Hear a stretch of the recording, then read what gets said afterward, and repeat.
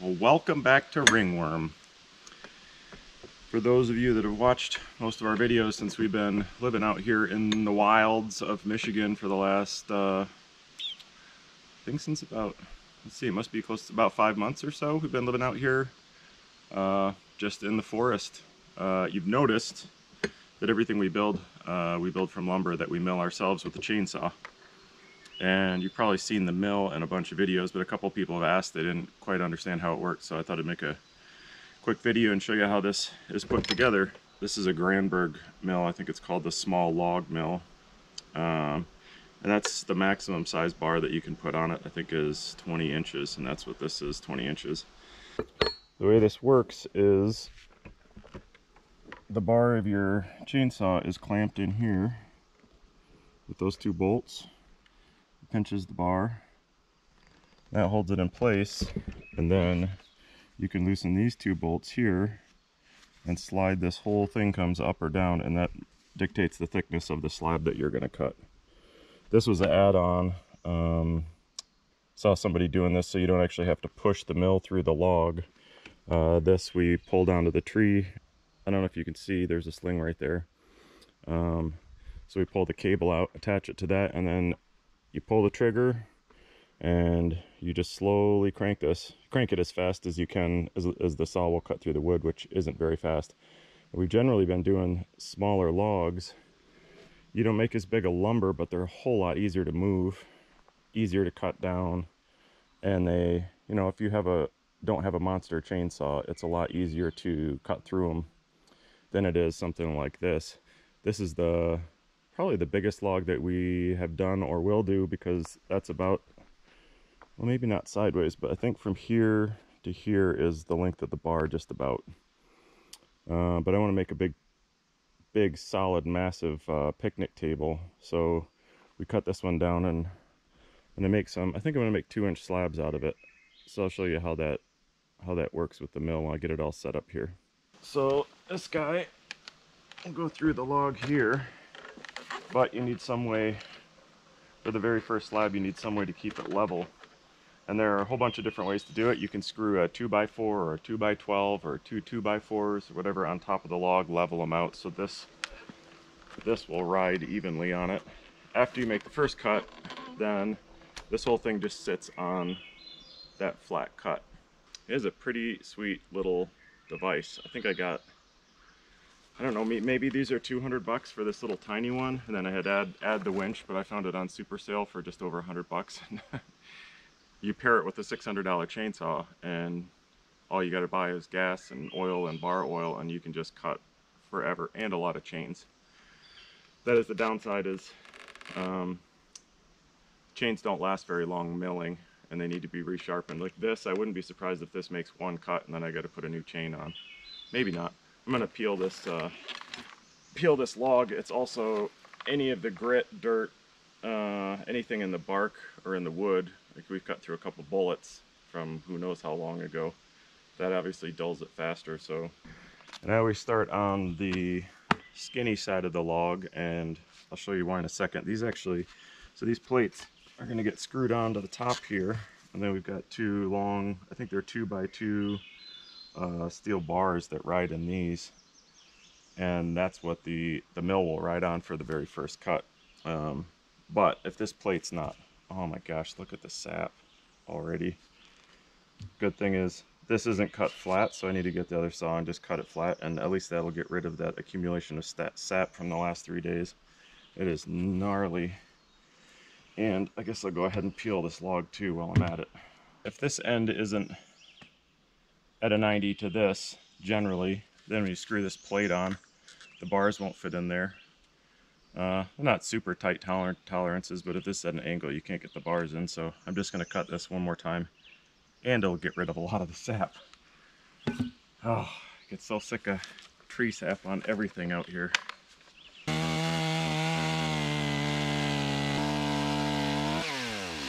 a lot of the stuff we build out here, it's kind of cool to have the bark still on the log, just for the, I don't know, just for the look of it, but since when it was snow, when it was winter, we drag these things around, it wouldn't really matter, you just get snow in the bark, but now when you drag them around, they get muddy. So we can use a, a brush and get some of that dirt out of there just so it doesn't dull the chain so fast, but cedars are pretty easy to peel and kind of cathartic. So I'm gonna go ahead and peel this. Actually, I get the draw knife.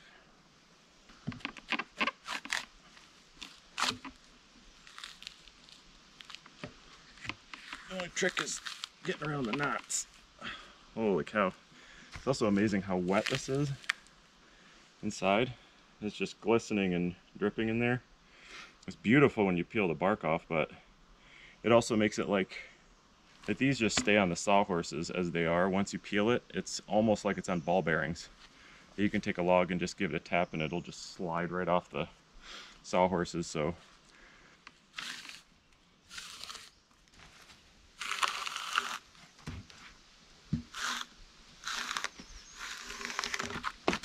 pretty sweet, huh?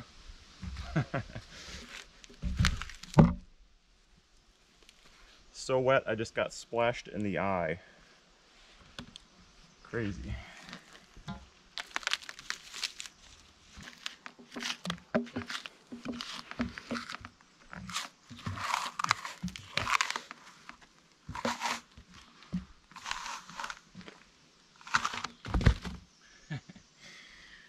Oh, so fun when it comes off like that.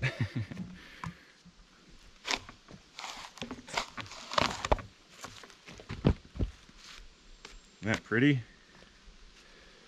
And it is as smooth as it looks. It's like just wet and it's almost not quite slimy. It is just water. Feels bizarre though.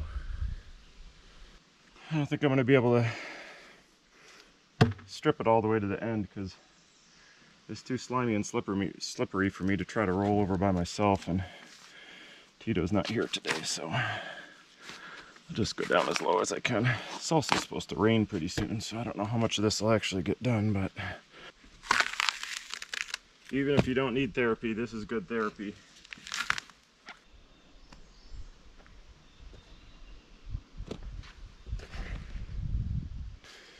So it's easiest if you first find roughly the middle of the log. So something about uh, six and a half, it's about right there.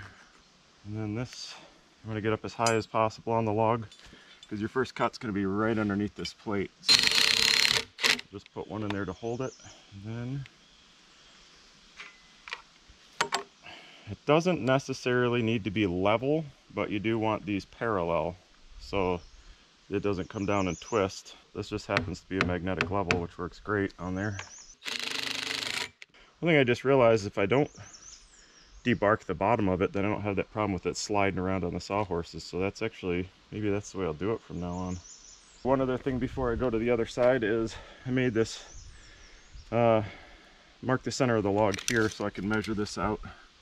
That is five and three eighths to the center. So that I'm gonna mark the center of the other end, go up five and three eighths, and that's where the plate's gonna be. So that we'll end up, the other end's quite a bit fatter, but we'll end up taking exactly this piece out of the middle of the log. About eight and a half, which is right, is 18 is nine. So it looks like it's about 16, eight. Yep, that's pretty close. Five and three eighths something like that. That is right. Ooh, this is a big log.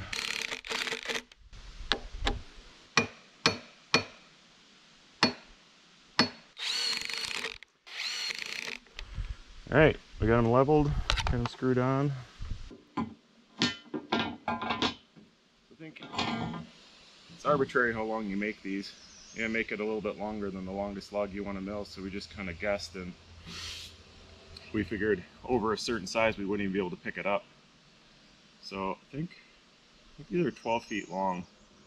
Just what I guessed. I was going to do a set of like 8 footers and a set of 15 footers, whatever, and we just kind of split the difference and did 12 footers. But yeah, so we usually cut 11 foot logs, 11 and a half for the smaller ones. But if you get smaller logs and they're not perfectly straight, over the course of a really long log, it makes it there's a lot of throwaway and you kind of end up with issues. So I don't know. for what we're doing, this is going to be a table. It's not going to be a, I think it's a nine foot log. It's not going to be a nine foot, I don't know, maybe it'll be a nine foot table. It would have made more sense to cut it exactly to length or pretty close. But that's okay.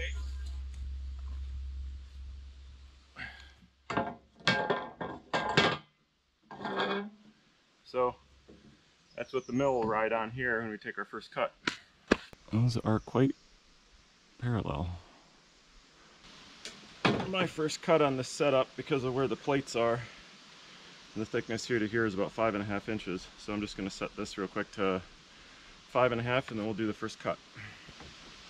That says five and a half. And unfortunately, I can feel the thunderstorms coming in. I think it's about to start raining. The good thing is you don't have to watch this in real time. Don't worry, I'll stop the camera and start it later. You'll hardly know what happened. Maybe I'll do one cut. That's probably a bad idea, but... One quick cut, one quick cut. It's always worth checking. Yep, that's why you check it. Before you just start it up and start going. I think I got four and a half instead of five and a half. Would have cut right into the bar. All right, try that again.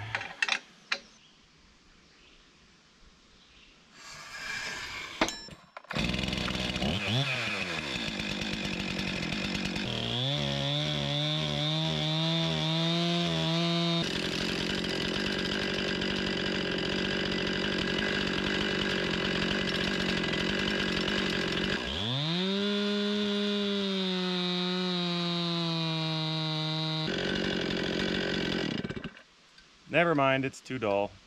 Gotta change the chain and put my mask on. Unless it's about to pour, which it just got really calm.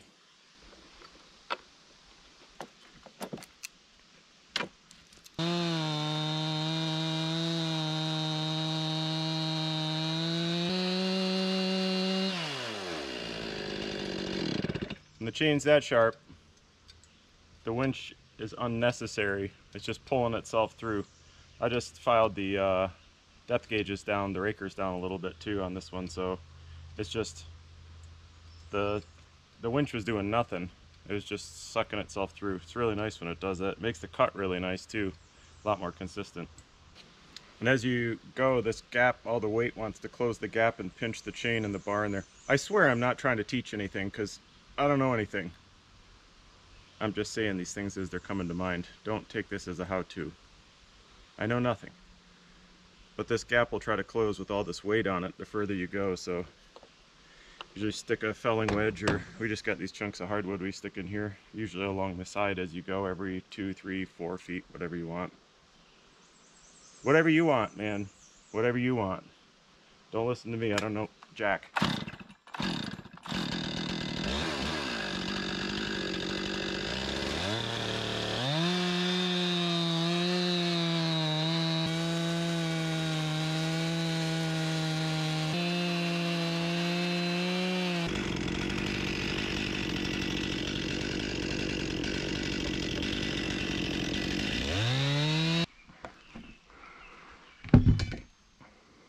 Hmm. It's got some pretty color to it. Nice. So we'll drop this down to two inches and just start right here. Now you don't need the bars for this one because it'll just ride right on the top of the log.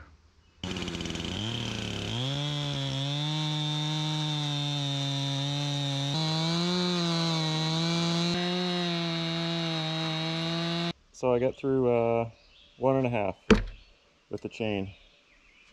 It's pretty good. I mean, you'd like it to go through the whole log without dulling out, but it's worth uh, switching them out.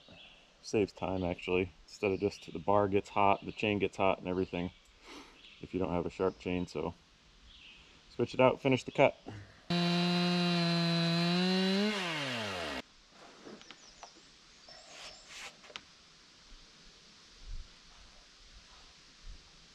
nice.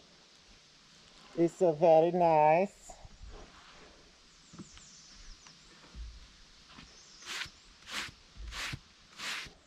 I where I stopped before I pushed it through the end, but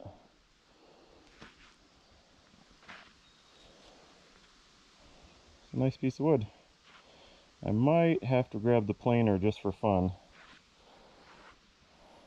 Just to see what it looks like. You can't really see the grain too well. I mean, you can see it, but it's not so pretty until you take that chainsaw texture off of there a little bit. I think I'll try it. So my dad restored this and gave it to me recently. It's a Stanley plane from the early 30s. I think he said 31 or 32. It's all fixed back up and man, it's fun to, to plane this wood with. I was using the electric planer, the uh, Ryobi with the battery, and this actually did just as well as that. Takes a minute to get the top, the top chatter off of there. There we go.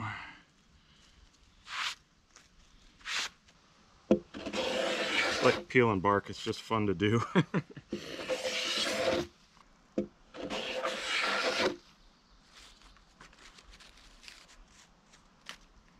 Apparently it's sharp. So much fun. Oh, I don't know why. It's gonna end up a quarter inch thinner than all the rest of it. Now it's some pretty wood. Okay, so I got a little carried away and did the whole thing. but in like five minutes.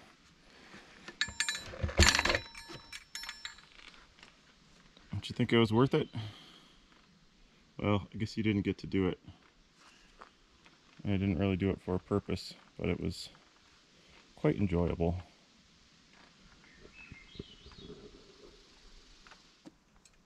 So we just had to relocate this milling uh, operation because the picnic table is going to go where we used to mill. And this is a lot easier way for us to drag logs in with the four-wheeler and drop them here and just go out the other side. Be a lot more convenient, but um, uh, don't hesitate to get one of these things for a hundred to two hundred dollars for these small mills. Um, it's money well spent, incredibly well made. Um, I can't find anything to pick apart with this thing. It's just fantastic. Um, but you don't have to have ringworm to enjoy milling your own lumber. You can do it at your house in your backyard if you got access to any logs at all. I mean, just about any size you can get. If you have huge logs, you can get bigger mills. This, like I said, this is the, the smallest one, but um, even a cheap saw, as long as it's, uh, I think they say 55 cc's for this, which could mean a lot of different things in horsepower, but um, you know, pick up a cheap used saw and get a little bitty sawmill and try making your own logs. It's really fun. It's a lot you can do with them. Uh, that's about it. Thanks for watching. And uh, if you got any comments or any questions uh, about milling or anything you saw in the video, leave them in the comments and I'll make sure to get back to you. Um, I'm no expert. I don't, I don't know anything, but I'll answer your questions anyway. And if you'd like the video, we'd appreciate that. Thank you.